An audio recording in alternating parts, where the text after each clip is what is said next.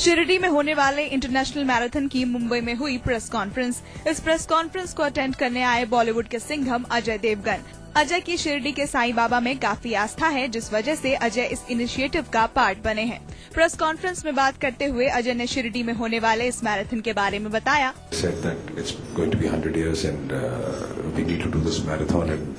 uh, what do we do about it? They didn't even know. So it was just that because they're so simple. So uh, I said that you know I can give all my support to at least create the awareness uh, to reach out to you guys and uh, so that you guys can reach out to the people to let them know that it's going to be it's it's it's 100 years this year and and this is what is happening.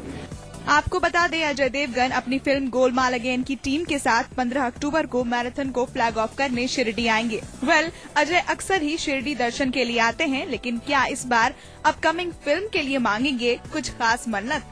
I think superstition में सभी लोग believe करते हैं। कोई कुछ लोग मानते हैं कुछ लोग नहीं मानते हैं लेकिन ज़रूर बिलीव करते हैं। बट एक दायरा होता है एक लिमिट होती है।